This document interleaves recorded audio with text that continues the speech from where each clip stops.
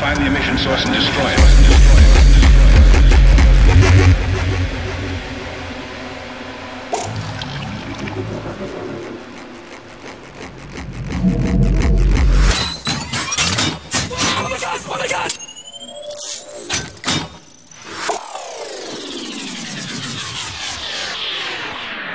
Wormhole emissions